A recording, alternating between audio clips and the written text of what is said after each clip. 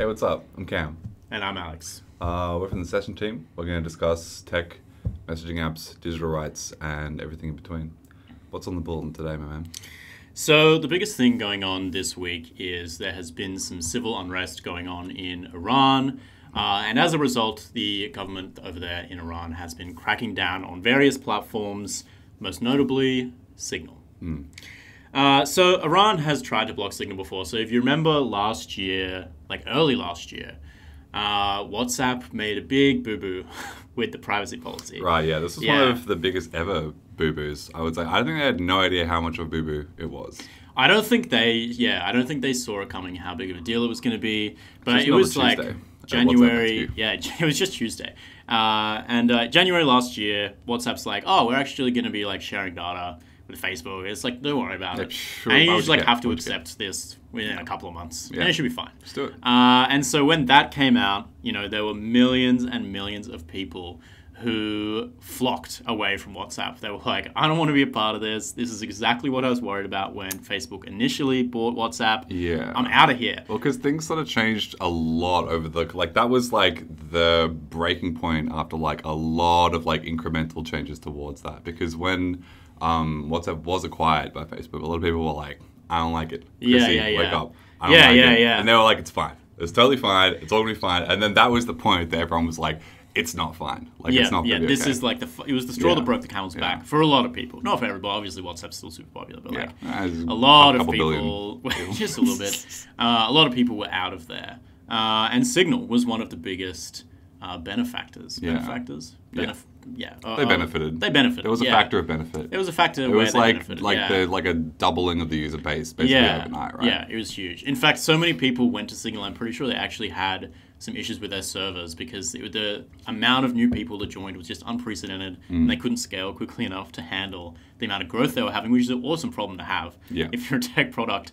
Um, but around the same time, Iran was like, "Oh, okay, so everyone's using this Signal app now." We should do something about that. So it got taken down from Cafe Bazaar, which, for those of you who don't know, are kind of like the App Store or the Google Play Store in Iran. Um, Sounds way cooler. Sounds like way chiller. yeah, than yeah, like, yeah. you know. It sounds like a nice place to hang out. Yeah. Um, but yeah, so Signal was taken down from there forcibly by the government, uh, and eventually, when they realized that people were still, you know, getting the APKs, they were like, "Oh, we're just going to start dropping Signal traffic completely," and then people weren't able to access Signal. Now, the way that Signal got around this was using proxies. So basically, you could set up a little server, uh, like the community could set up a server, Yeah. um, and they would be able to access that. Presumably, it wouldn't be blocked, and then that would bridge them Yeah. to. It's a bit of a cat and mouse game, right? Like they, Yeah, yeah. basically like people set them up, they shut them down, another person sets one up. It's like, yeah, yeah. So that worked um, for a good amount of time, but then we got all the way to last week, uh, and things ramped up hugely again with all this unrest and protests. Um, the government was like, okay, we need to get really serious about this again, and Signal's um, Signal's service was basically taken offline. Yeah, well, they also like interesting that we sort of were talking about WhatsApp in the context of this before because they they wanted people they wanted to spy on people's communications so much that they even shut down WhatsApp, which is not great for privacy generally, but is end to end encrypted. So Instagram, I believe, and WhatsApp, and um, like shutting down access to mobile internet completely, more or less, for like pretty significant periods of time. It was sort of a curfew style enforcement, Yeah. is what I saw. That basically, like at the times when the civil unrest was peaking and the protests were really gaining momentum, um, that is when they would shut it down. Yeah. And it's kind of crazy to imagine being in a situation like that where something like a private communications app or a social media platform like Instagram is so crucial to something so important and it just being taken away. It's kind of a trip when you think about how much we take it for granted and the trivial ways that we use it. Yeah, absolutely. Something like Instagram, And how fragile it really kind of is. Yeah, for Like we think about the internet as being this really sturdy and like solid thing, Yeah. and like Yeah. anytime your um, connection to the internet is interrupted or even just slow. Yeah, Like if I'm working in the office and I'm like, oh, my 20 gigabyte file is downloading kind of slow today. Yeah, It sucks. It's an issue. It's Um, like I feel But actually, it's really fragile, especially when the infrastructure, you know, is owned by the government or the government has the ability to tamper with it. Yeah, for sure. Um, and so, yeah, you know, the internet can be shut down, and in Iran it has been before multiple times. There have been multiple internet shutdowns there. there was like a whole week apparently. Yeah, like yeah. 2019, I think, around the protests that were related to fuel prices. I think. Right. They just basically shut the whole thing down for basically everyone for like a week, which is crazy. Which is crazy. And I was I was reading people like, oh, that's fine. Internet's shut. Just get on the ham radio. Yeah. And just get and send you. And like,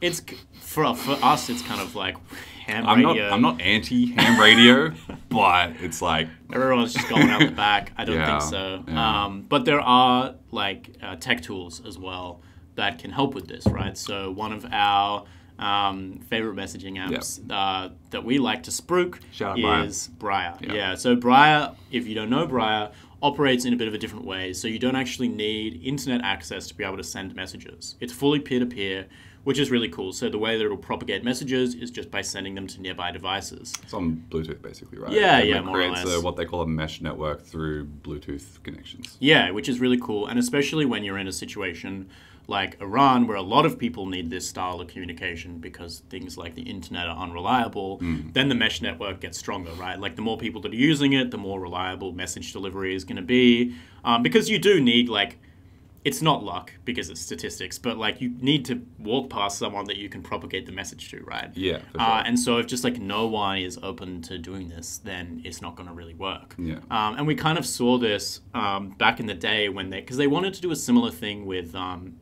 like COVID uh, case tracking, right? They wanted Yeah. to have it like everyone had this app in their pocket, Yeah, and then blast they would past, it would like send the token to like the people around you, and then if you were positive, it would like alert them. Yeah. Um, so it's sort of a similar concept, but this time actually privacy preserving, unlike Yeah. a lot of the COVID tracker apps that Yeah. ended up being a bit of a a nightmare. can of worms. Yeah, but with Briar, you know, the messages are encrypted and Yeah. everything's really upfront. Yeah, a very uh, well respected messaging app with a great use case for offline Yeah, messaging. yeah.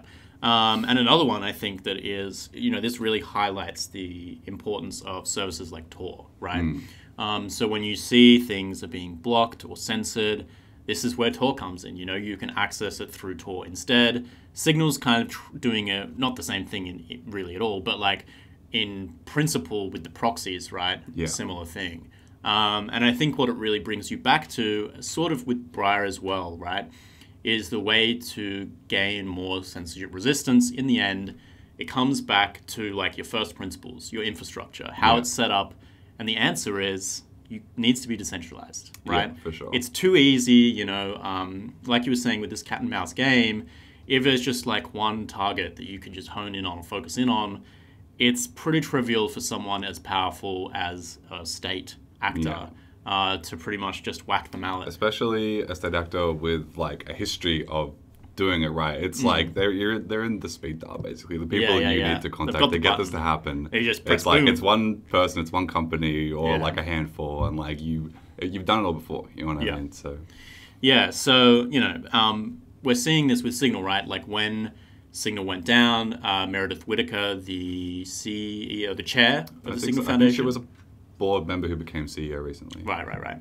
um, put this message out saying, "Hey, everybody, you know." We asked you to do this before, back in 2021. Initially, Mm. you know, to set up these proxies, we're asking you to do, do it again. And by reaching out to the community, what you're really doing, you know, you're going for this decentralized resistance, right? Yeah, You're yeah. trying, you're saying, hey, the only way around this is like a community approach, a decentralized approach. That way, you know, we can pop up a new proxy quickly enough that isn't blocked and people can get out to signal from Iran. Yeah. Um, or whatever service it may be. Similar sort of concept with Tor, right? Um, and there's like levels of, of Tor being blocked as well, but it's more dynamic and able to adapt to this kind of like whack-a-mole censorship Yeah, when it sure. is decentralized and community operated and people from all over the place can kind of like do their part and chip in. And there is a messaging app where this ethos, this style of decentralization is actually built into the DNA of the infrastructure. Yeah, it's interesting you mentioned. Oh, so obviously it's Session. It's session. Uh, yeah, it's session. has that decentralized backend, right? Yeah, Um, and that's kind of the whole point, right? It's like um, these sorts of situations. Obviously, if the internet is cut off, there's not a lot you can do in that situation. But in terms where of Briar comes in. yeah, right? exactly, exactly. Yeah. Um, but in terms of censorship resistance through decentralized infrastructure that allows access to the service in ways that can be hard for large actors like a state um, to repress and to shut down, these are some of the most important use cases for private messaging. And these are situations where being able to communicate and not being spied on, the implications are massive. The implications Life can, death. yeah, for individuals and for whole social movements, which Yeah. have the capacity to bring about massive positive change for entire countries, even like you know, groups of countries. Like we saw what happened Yeah. in the Arab Spring, where it was like a domino effect, Hmm. somewhat facilitated by social media and the ability to communicate online. Yeah, um, absolutely, absolutely. Sorry, I was just telling Cam. I'm going to personally he's a- apologize. he's a I, I like to tap the table. I'm, I'm a table tapper. Yeah. I Um, apologize to the audience. We promise we'll get a shock mount for future episodes. Uh, but no, the point that you're making is absolutely correct. Like this stuff is really essential, and increasingly in the world that we live in now, right? Like if you can't communicate digitally, people have trouble communicating at all. Like yeah, it's such exactly. An important pillar of Yeah. how people organize, how they affect change. Yeah. Um, and we've seen this play out multiple times, like you said, uh, over the course of the last decade at least, but realistically probably longer. This has been really important, and um, I think having that, the thing like you need to have that decentralized approach from the beginning because Yeah, it's really hard to like smack a band-aid on it um, and hope that that's going to be good enough. Yeah, it needs to be fundamental to the thinking behind the way that the technology is designed from the beginning. Yeah, yeah, exactly. Um, and you know, we're seeing it play out in Iran. We've seen it play out in other parts of the world over the last few years. Uh, it is really important, and I think uh, governments are going to become more aggressive with trying to censor platforms that they see as you know enabling, Yeah. uh, you know, activity against their interests. Yeah, for sure. Uh, so And we have to be really a- aware of that. We need to prepare for it before it gets. Yeah, no, totally. You want to be proactive. You don't want to be trying to like slap a band-aid on it afterwards. You don't want to be reactive. You want to have already got the solutions ready to go for when you need them. Yeah. And there's like this sort of like we're not gonna be going back to a time when digital communication is less um, widespread and ubiquitous. You know, it's like there's a there's a direction things are moving in. Yeah. And we need to be ready as it progresses. Exactly. Um, yeah. So you know, I mean, that's the situation in Iran. It's still very much unfolding, Yeah. um, and likely to unfold over a fairly large period of time. Um, but that's you know how things are going there at the moment. At home, there's been some other stuff going on, hasn't there, Alex? Unfortunately, and unfortunately, this is a story which is very p- close to me personally Yeah. uh, because I was affected. Yeah, very, by very, very personally, your personal information, in fact, yes. was Um, affected. So I think safe to say the biggest data breach in the history of Australia. Yeah, well, it's kind of like funny when they're, well, it's not funny, but it's interesting when they're talking about the amount of people that are affected, and you think about that in the context of the population of a country like Australia, which is only something uh, like 30-ish 28, million. 28, 30 million Yeah. people, and they're like 10 million people were affected. It's like literally like one in three. you Yeah, know. one in three people. Yeah. So for a bit of context here, uh, Optus, the second largest telecommunications company in Australia, was uh, had a huge data breach. Basically, what happened was some some person at Optus, we very I, I don't think a very unfortunate individual, uh, left an API endpoint uh, just like open to the public. Uh, and you could access it without authentication, which basically means that literally anybody could go and uh, scrape data from this API. And someone did. Someone thought, you know what? That's a great idea. yeah, You know, someone did. I'm gonna do And as it would turn out, the data that they were able to scrape was more or less all of it, all the data. So uh, in Australia, you know, we have uh, you know regulations around telecommunications and things like this.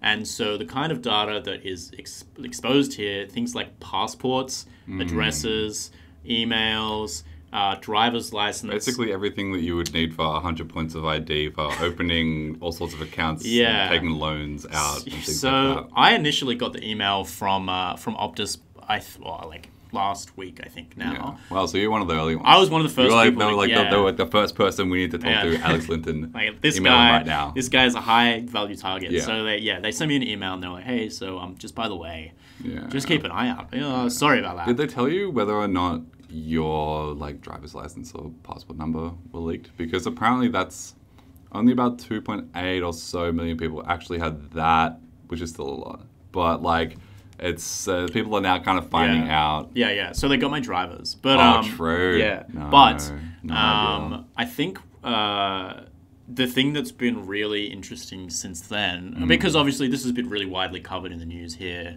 in Oz. Um, but the thing that's been interesting is like every single like thing, like every exchange that I'm signed up to, Yeah. or like any random like website um, that knows that I'm in Australia has emailed me being like, "Hey, uh, just be careful." And like like my bank got in touch with me as well, being like, "Oh." Just, just be on the lookout, you know, and So we'll be on the lookout, and you be on the lookout, and like Yeah. hopefully nothing bad happens. Yeah. uh, But yeah, it's been you a pretty shocking yeah. um, a lot of people are going to be completely. There's some bad things going to happen. I would say. Well, so this the another part of the story that I think is really interesting is the hacker. yeah, Um, so the Optus could have been 4chan. currently It's still unknown out there. Currently unknown the hacker, but Yeah. it could have been because Yeah. 4chan is on the loose. Um, but uh, the hacker, so the hacker was posting on a forum. I'm not really sure what forum this was, being like, "Oh yeah, so I've hacked hacked Optus, I've got all this information," um, and they they said, "Oh yeah, I'm I'm gonna release like 10,000 people's information every day until you give me a million US Mm. It's dollars." so, like, it's so like it's like very dramatic. It's very like theatrical. it was very theatrical. It was like it was out of like a Hollywood film. yeah. Um, but I, you know, when I first saw this, I was kind of like, oh, a million dollars, kind of a drop in the bucket. You know, for No, I a thought that telco that's worth I was like, know your worth. dollars. Know your worth. Yeah, you know, yeah. King or queen. Like, like this data is worth a lot more than that. yeah. Um, but it's interesting because um, the hacker posted this and then said, "Oh, I'm releasing the first batch today," and then the next day was, or like a few hours later, even was like, and we'll put the post up. Was just like, actually, sorry everybody. Um, I didn't realize that this was going to be like so harmful to everybody. I'm really sorry, Optus. I'm really sorry to all the people. I've deleted the data. I'm gone. Disappeared. Huge prank. Uh, so Such. Pr- pretty um pretty bizarre one uh i yeah. would say Pretty weird. Pretty weird. like Is that like where we're up to in this in this evolving story? yeah Is well that as far as um as far as i know that's kind like of it crazy? right now I would have taken the million bucks, Eddie. you know? well so i saw no, some not really. It would be very irresponsible for someone to do that. i saw some speculation um so like the journalist who was reporting on the forum posts Yeah. was basically just like taking the posts and putting them on twitter for Mm. like people to read Uh, and then the, in the replies, there was another journalist going like, "Oh, this is really strange, and this kind of behavior is really typical if the ransom is paid, but there's like an NDA saying you can't tell anyone yeah, that we paid which this makes total sense, right? Because if I'm like, if I'm like, uh, I was gonna say John Optus, but it's actually the the head of the company is a woman. If I was Jane Optus, that's just. If I was John Optus, wait, Yeah. Okay. nice. no, if I was Jane Optus, I would probably um, absolutely pay the money. Why would you not pay the money? It would be a very obvious choice to pay the money. So, um, yeah, I guess not a lot of people are super aware of what is likely to play out in a situation like this other journalist was. But, like, when it's laid out like that, it seems kind of. Seems possible, right? I don't know if we're gonna get in trouble for even speculating on this, but um, like it definitely seems like that. If I, yeah, like you said, I would, I would take the deal. Yeah. it's a great deal. Yeah. You know, like I would be probably, like, I would be like hoping, I'd be like Oh. 1.1, Like, you know, there just was- like take it, take it. There were, and then there still is, but Yeah. like talk of class action lawsuits sure. and like hundreds of millions of Yeah. dollars of damages. Yeah. um, and just the damage to Optus's reputation, like probably their entire customer base. I know I was immediately like planning my exit. I was like, okay, I got to get all my ducks in a row. Because the thing is, right? Immediately, um, and we kind of spoke about this last time with the Twilio hack. Mm. Uh, immediately, my first thought was, oh man, like everything that I've I've used my phone number for 2FA because like there's a lot of platforms where you don't have an option. Yeah. They're like you need to have 2FA and it has to be a phone number. Uh, like my bank is one example of that, and I was like, oh, um, this kind of sucks. Uh, how am I going to get around this? I need to like ch- change all the things that have 2FA, but I don't have like a registry possible, really, of all the know. services I need to change. And I was like, it's a logistical nightmare. Yeah. Um, and it kind of makes the point again about phone numbers and like how they really are just like, Yeah. a, you know, a, a ball and chain around Yeah. our ankles. I think that um, one way that it's been put in the past um, is it's basically a, a sort of social security number, an unofficial social security Mm. number, basically, that's used to identify you and is linked to all of these different things, which is not like like the person that invented the phone number probably. they were just like, I want to send a message to Jim. It's yeah, exactly, yeah. Probably had no idea how badly things were going to snowball into the situation that we're presently in. No. But speaking of snow, uh, good old, our old friend Ed Snowden. Yeah, yeah, Big Ed. Big Ed is his name around the office. Big Ed, as we call him, our close and personal friend, Yeah. uh, has some good news for Some really good news. themselves, Yeah. which is uh, that Ed has been granted Russian citizenship. So huge. Um, I know that he has a he has a young family now, so I'm sure that this is like a huge load of his mind. Um, Yeah. It's a bit more stability for his family. Yeah, well, I mean, like it's it's really interesting because my first reaction was, oh man, like that's great news for him, but it sucks. It sucks at the same time. They're like, because he, I, I saw that he'd applied for asylum in 27 different countries before he went to Russia. Wouldn't necessarily have been the top of his list. Yeah, and he's been like a pretty vocal, um, like. Uh, critic of Putin and the Russian Yeah, government and sure. oligarchy, etc. And so it seems It's- like a bit of a tenuous. It's a, uh, it's a crazy like him. the enemy of my enemy is my friend situation. Well, I think it literally is. Yeah. that is the situation. because right? it's like obviously um, in uh, Russia there is a lot of censorship and surveillance. Uh, Yes. massive issue. Some Yeah. would say. yeah, Um, don't put a hit out on me, please, Vladimir, if you're listening. um, but yeah, I mean, you take what you can get when you're in Yeah. that situation. Yeah. But Yeah. Good for him. Good. For yeah. Ah, no, I'm really happy. I'm really happy for him. You know, I think. Um, He's been fighting the good fight for a long time now, and Yeah, you know it's sure. clear that a lot of the of settle issues. down eventually. you Yeah, know, yeah, it's he's like done. He's Yeah, done. I You would know, be. he wants to Hopefully he gets like a farm somewhere with like a nice veggie patch. and Oh, that'd be like, great. Chilling. Pretty cold over there. Can you farm in Russia? I think. I think so. It's a big place. it is rather large Yeah, area. sure. Probably farms. Yeah, I would say. so. I hope so.